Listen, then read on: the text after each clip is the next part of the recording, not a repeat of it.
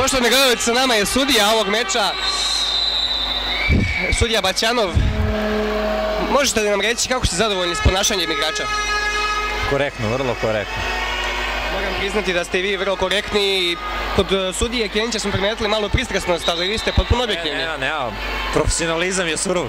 Ja se izvinjavam što upadam ovako u razgovor, ali ako bih mogao da sugerišem da golman ekipe a, iz 7.5 po, ponese titulu najfair igrača i samim tim dobije nagradu, jer e, momak je fantastično branio prošle Profesor Mrđa o svemu odlučuje.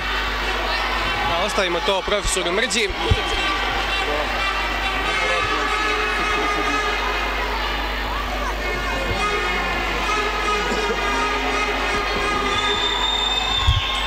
A, dragi gledalci, imamo problema sa našim PR-om. A, nije do nas Zorane, jel tako? Apsolutno, Već apsolutno. nam kasne ovi izveštaji. A, Nemamo, tehnički uslovi nisu sasvim savršeni. Ali mi dajemo sve od sebe, zar neće? Trudimo se, trudimo se veoma. Evo, sa malim zakašnjenjem dobili smo i sastave ekipa 7.7 i 7.6.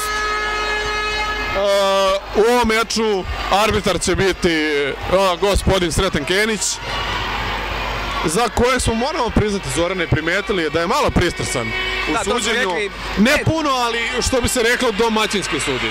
A, Domneka ga treba razumeti, ali ostavimo to po strani, pričitajmo sastav. Da, nećemo toliko o sudijama.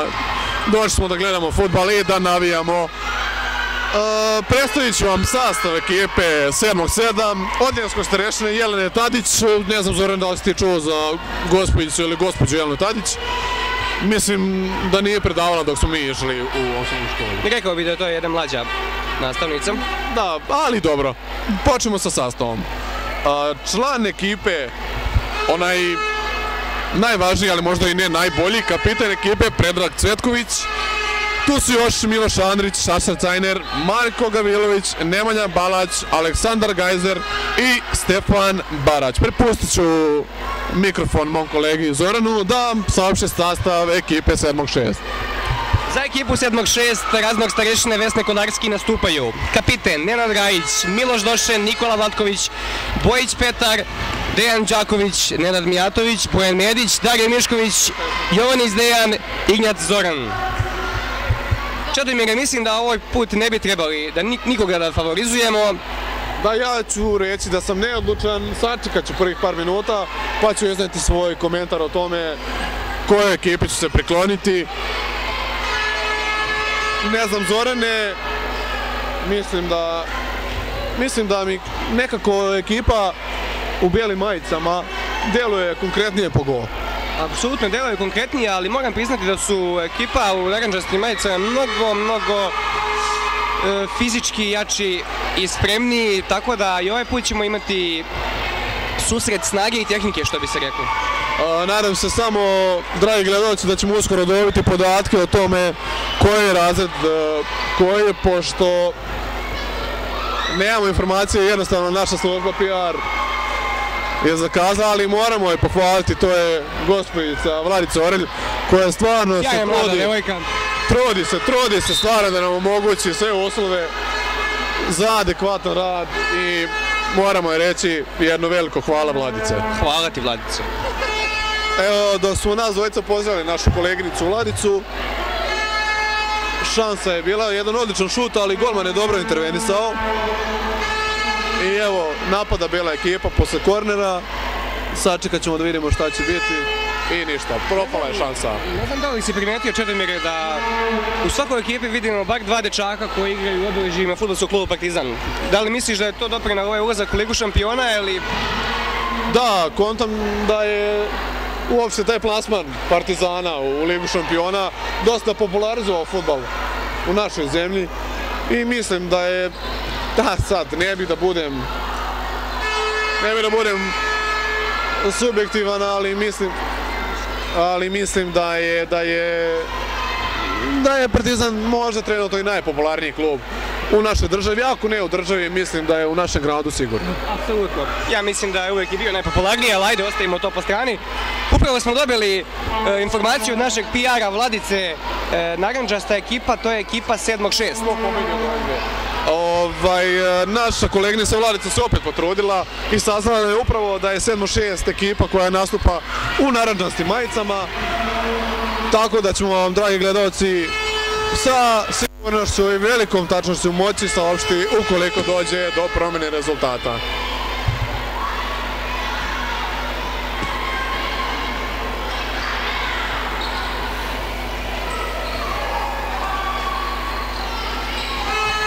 Najvećoj meri igra se odvija na sredini terena, ako si primetio Čedo. Da, reklo bi se da su ekipe prilično tehnički potkovane. I evo, pogledajte, jedan izvrstan prodor, individualni prodor. Sačkat ću nemo Sjajno. 7-7 napada, ali od svega toga samo koren. Što bi rekli naše kolege sa jedne druge televizije, tresla se gora, rodio se miš. Apsolutno. Moram priznati da sam pocenio e, ekipu 600, e, 7-6. Mislio sam da ta njihova fizička nadmoćnost neće dobro da se odrazi protiv e, taktički mnogo bolje ekipe, ali prevario sam se. A, Zoran i ja moram priznati da ću ipak svoju nakon, svoje srce prekloniti momcima koji igraju u naranđastim dresovima. Pa ovaj put e, neću moći da se složim s tobom. E, ja naklonost dajem ekipi 7-7. Dakle, igračima sa belim dresovima. A, ja se izvinjavam, dragi gledalci. Odjavit ćemo se na trenutak dok se nas dvojica raspravimo zašto se ovaj put nismo složili.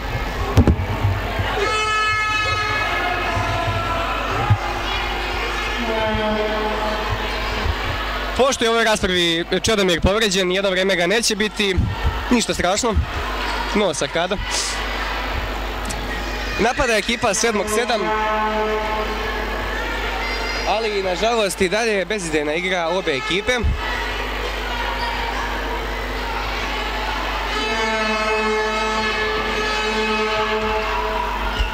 I dalje se igra svodi na dodavanje na sredini terena, ali ništa konkretno nema. Evo, vraća nam se i Čedo. E, Evo, do- dobar dan, dragi gledalci. Posle jednog kratkog obračuna sa mojim kolegom Zokijem, sam završio na gorem urgentnom, ali ništa strašno.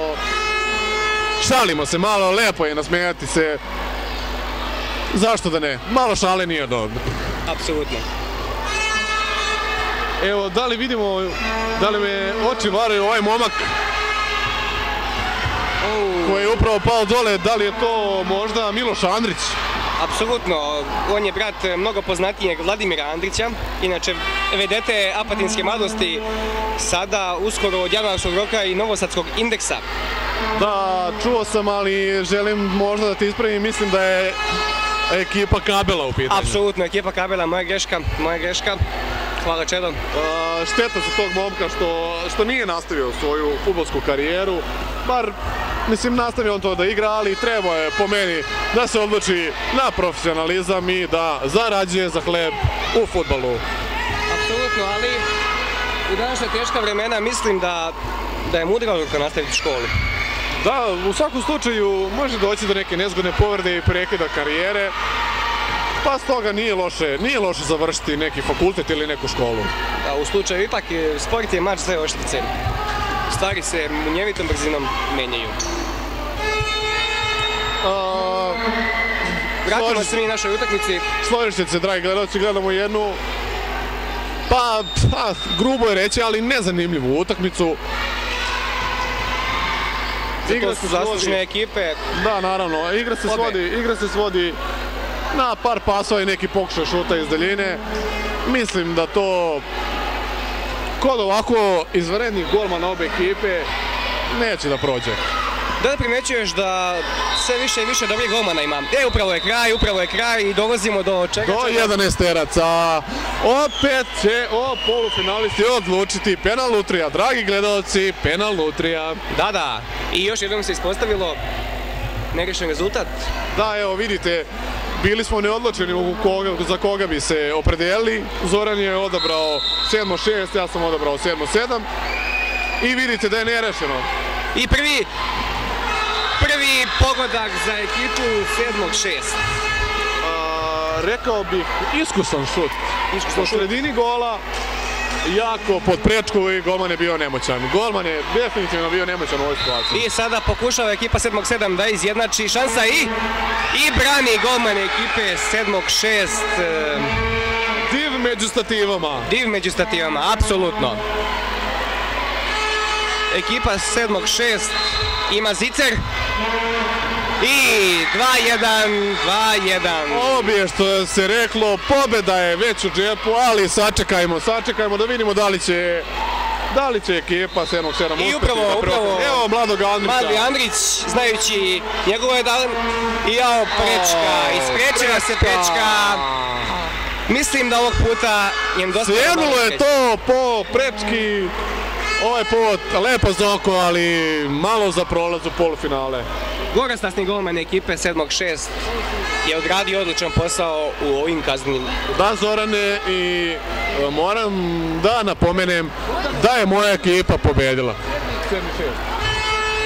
Priznam i čestitam. Čujemo se uskoro.